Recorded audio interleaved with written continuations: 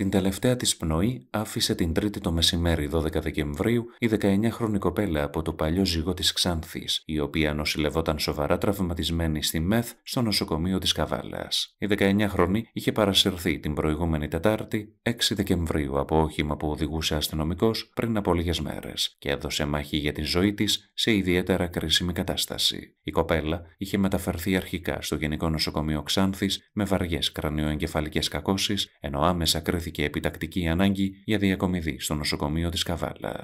Το πρωί της 3η 12 Δεκεμβρίου, μέσω του πλεροξουσίου δικηγόρου τους και πριν κατάληξει η νεαρή κοπέλα, οι γονείς της ζήτησαν μέσω δήλωσης να ρηχτεί άπλετο φως στην υπόθεση που τελικά στέρισε τη ζωή στο παιδί τους.